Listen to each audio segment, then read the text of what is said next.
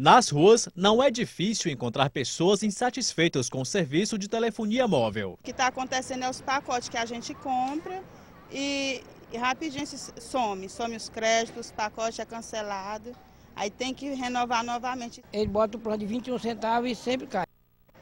Se a conversa esticar um pouco, aí cai, você tem que ligar de novo. É mais 21. O taxista Marcos Portela chegou a trocar de operadora na tentativa de ter menos problemas, mas ele foi surpreendido por descontos nos créditos. Fica enviando mensagens dizendo que a gente gastou tanto para participar de um sorteio, que não sei que sorteio é esse, de um carro, e esse carro nunca aparece. E eu já fui até a Anatel para poder denunciar isso aí, até que enfim, depois que eu fui à Anatel, foi que tiraram esse negócio do meu telefone. Muita gente já passou por situações complicadas por causa da falta de sinal na hora das ligações. Foi assim com o autônomo João Williams da Silva. A minha esposa estava no colégio do menino, a minha esposa está gestante. Aí ela precisou ligar para mim, para mim ela não está assistindo bem e não teve como ligar.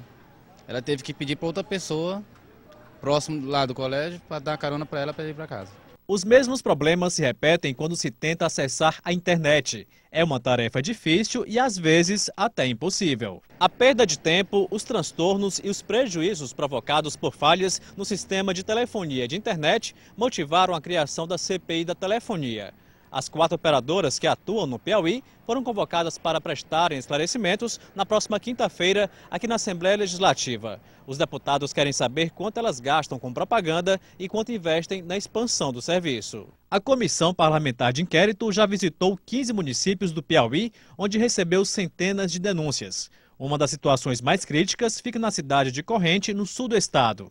Cerca de 2 mil famílias podem perder o benefício do Bolsa Família porque não conseguem fazer o cadastramento pela internet.